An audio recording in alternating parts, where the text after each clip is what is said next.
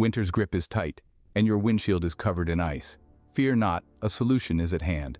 Start by equipping yourself with the right tools, an ice scraper and a de-icing spray. The ice scraper is your knight in shining armor, chipping away at the frozen fortress that your windshield has become. But remember, gentle strokes will do the trick. A brute force approach might leave you with a damaged windshield and a hefty repair bill. Now meet your secret weapon, the de-icing spray. A few spritzes and watch as the ice starts to melt away. But don't let your guard down.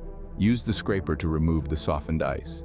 To prevent this icy inconvenience, consider a windshield cover.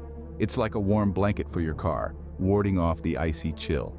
Additionally, parking strategies can make a world of difference. Try to park facing east so the morning sun can assist in melting the ice. Remember, winter is a formidable opponent, but with these tips, you're more than equipped for the battle.